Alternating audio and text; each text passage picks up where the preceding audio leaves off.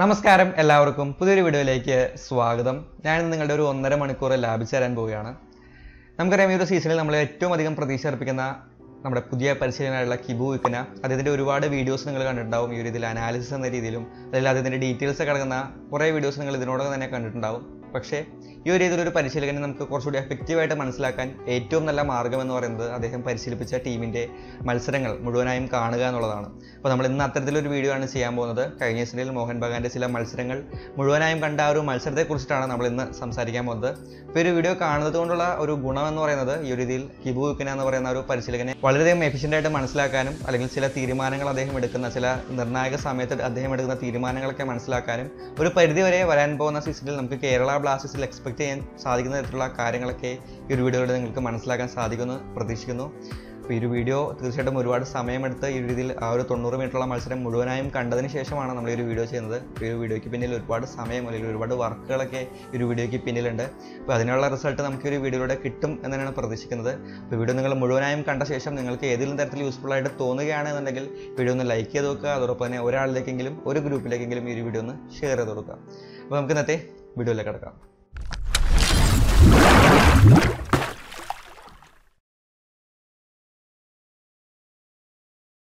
Mohan Bagan NEROCA F C മത്സരം Mohun ബഗാന്റെ home മത്സരം. ഈ ഒരു മത്സരത്തിന്റെ ഒരു പ്രത്യേകത എന്താണെന്ന് വെച്ചാൽ തുടർച്ചയായിട്ടുള്ള ഒരു നാല് മത്സരങ്ങൾ വിജയിച്ചിട്ടാണ് മോഹൻ ബഗാൻ ഈ ഒരു മത്സരത്തിന് അപ്രോച്ച് ചെയ്യുന്നത്. ഒരുപാട് പരീക്ഷണങ്ങൾ കിബൂക്കിനെ നടത്താൻ സാധ്യതയുള്ള ഒരു മത്സരം കൂടിയാണ്.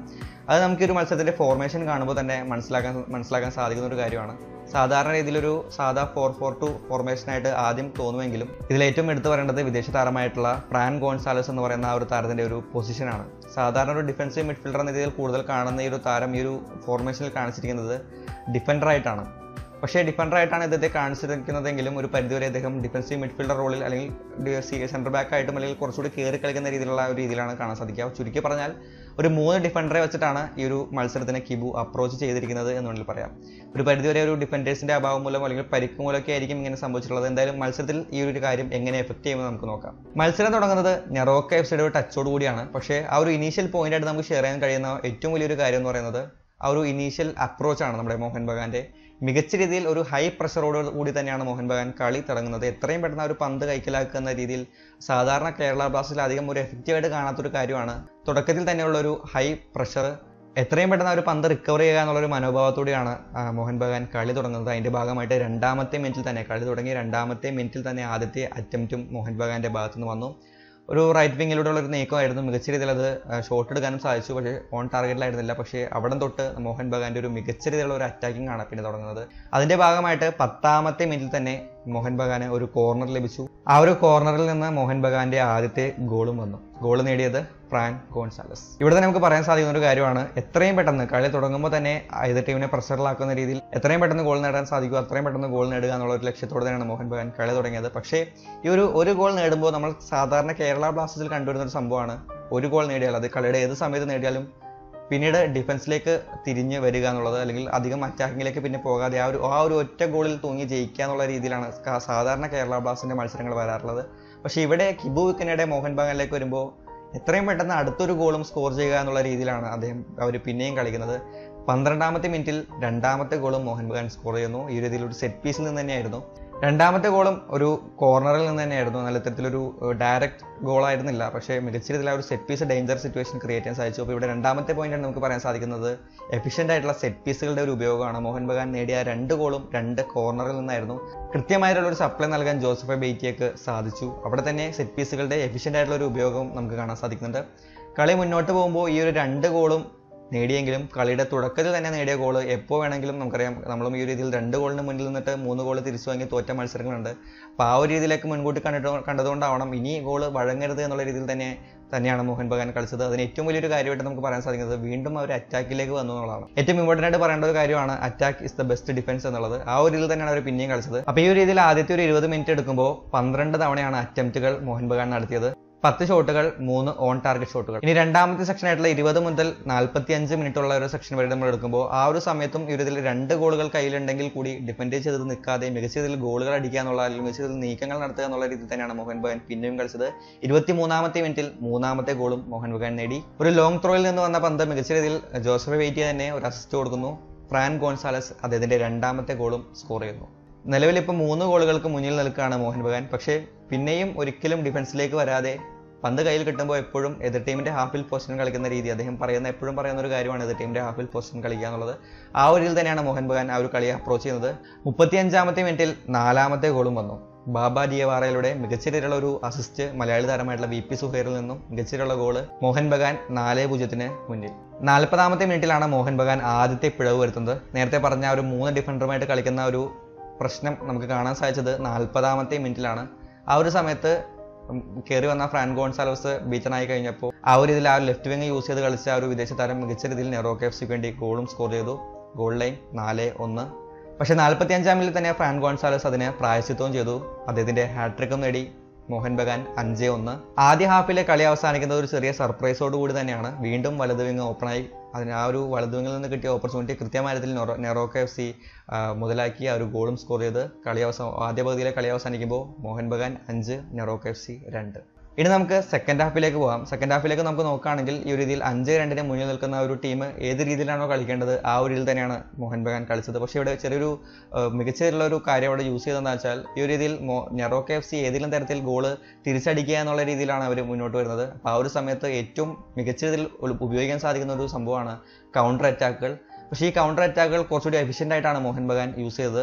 ഏകദേശം അറ്റാക്കിംഗ് പൊസിഷനിലാണ് അതായത് സെൻട്രലിനോട് സെൻട്രലിനോട് ചേർന്നാണ് ആ ഒരു മോഹൻ ബഗാൻ നെറോക്ക എഫ് സിയുടെ താരങ്ങളുള്ളത്. ആ ഒരു സമയത്ത് ഏറ്റവും എഫിഷ്യന്റ് ആയിട്ട് കൊടുക്കാൻ സാധിക്കുന്ന ഒരു സംഭവമാണ് ലോങ് ബോളുകൾ ചിപ്പ് ചെയ്തിട്ടുള്ള ലോങ് ബോളുകൾ സാധാരണ മലയാളി കേരള ഫുട്ബോൾ കേരള ബ്ലാസ്റ്റേഴ്സ് ആരാധകരെല്ലാം ലോങ് ബോളിനെതിരായിരിക്കും പക്ഷേ ഈ ഒരു ഇതിൽ അവിടെ ഏറ്റവും എഫിഷ്യന്റ് ആയിട്ട് വരാൻ സാധിക്കുന്നത് ലോങ് ബോളുകൾ തന്നെയാണ്. ചിപ്പിംഗ് ലോങ് ബോളുകൾ തന്നെയാണ്. ഈ ഒരു ഇതിൽ അറ്റാക്ക് ചെയ്ത് വരുന്ന വരുന്ന നൊറോക്കോ എഫ്സിൽ നിന്ന് പന്ത് കിട്ടിക്കഴിഞ്ഞാൽ എത്രയും പെട്ടെന്ന് മുന്നേ മുന്നിലേക്ക് ഒരു രീതിയിലുള്ള ലോങ് ബോൾ ലോങ് ബോൾ കൊടുക്കുക എന്നുള്ളതായിരുന്നു പിന്നീട് മോഹൻ ബഗാന്റെ ലക്ഷ്യം. ഇത് ഏറ്റവും എഫിഷ്യന്റ് ആയിട്ട് കൗണ്ടർ അറ്റാക്കുകൾ വർക്കൗട്ട് ചെയ്യാൻ അവർക്ക് സാധിച്ചു. മോഹൻ ബഗാന്റെ മധ്യനിര താരങ്ങളുടെ കയ്യിൽ കിട്ടിയാൽ ഉടനെ തന്നെ സ്ട്രൈക്കേഴ്സ് ആയിട്ടുള്ള ബാബ ഡിവാറയും അതോടൊപ്പം തന്നെ വി പി സുഹേറും ഒരു റണ്ണിന് സ്റ്റാർട്ട് ചെയ്യും. ആ ഒരു ഇതിൽ മികച്ച രീതിയിലുള്ള ഒരു എത്രയും പെട്ടെന്ന് മോഹൻ ബഗാൻ എതിർ എതിർ ഗോൾ മുഖത്തേക്ക് എത്താനും സാധിച്ചു. അപ്പോൾ അത് തീർച്ചയായിട്ടും വളരെ എഫിഷ്യന്റ് ആയിട്ടൊരു കൗണ്ടർ അറ്റാക്കുകൾ അവർക്ക് നടത്താനും സാധിച്ചിട്ടുണ്ടായിരുന്നു.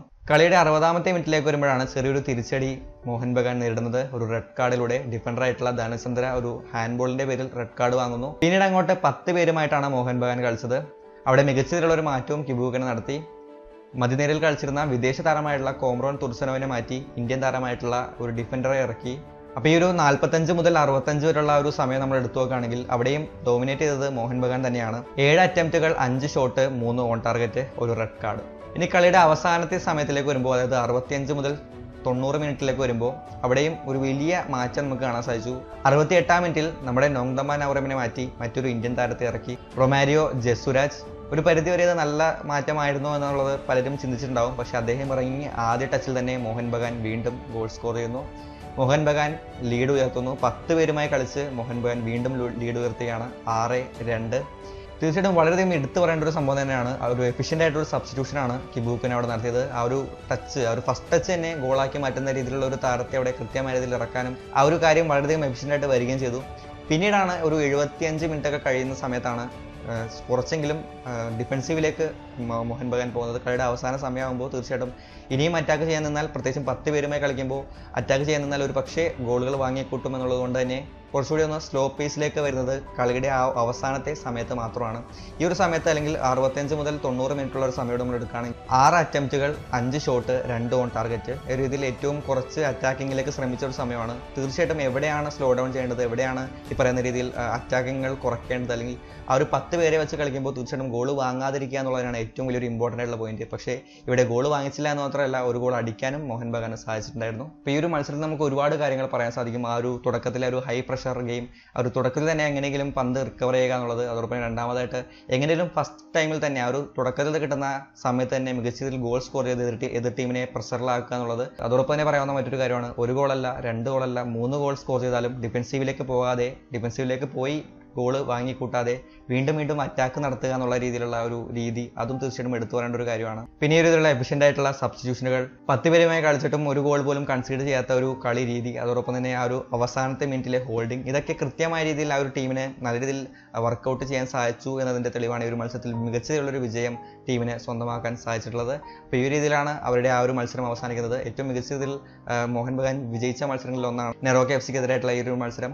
അപ്പോൾ ഈ ഒരു മത്സരത്തിൽ നിന്നും ഒരുപാട് കാര്യങ്ങൾ നിങ്ങൾക്ക് മനസ്സിലാക്കാൻ സാധിച്ചു എന്ന് വിശ്വസിക്കുന്നു എന്തായാലും ഒരു പരിധിവരെ ഈ പറയുന്ന മികച്ച പോയിന്റുകൾ നമുക്ക് വരാൻ വരാൻ പോകുന്ന സീസണിൽ കേരള ബ്ലാസ്റ്റേഴ്സിലും കാണുമെന്ന് നമുക്ക് പ്രതീക്ഷിക്കാം. എന്തായാലും ഈ ഒരു സമയത്ത് എല്ലാവരും റൂമറുകൾക്ക് പുറകെയാണെന്ന് അറിയാം. പക്ഷേ ഒരു സോഴ്സ് ഒന്നും ഇല്ലാത്തൊരു ഫേക്ക് റൂമർ നിങ്ങളുമായിട്ട് ഷെയർ ചെയ്തതുകൊണ്ട് എനിക്കോ നിങ്ങൾക്കോ യാതൊരു വിധത്തിലുള്ള ഗുണവും വരാൻ പോകുന്നില്ല. അതേസമയം ഇങ്ങനെയുള്ള വീഡിയോകൾ ഷെയർ ചെയ്താൽ നിങ്ങൾക്ക് അടുത്ത സീസണിൽ കുറച്ചുകൂടി കാര്യങ്ങൾ എക്സ്പെക്ട് ചെയ്യാൻ സാധിക്കുമെന്ന് പ്രതീക്ഷിക്കുന്നു.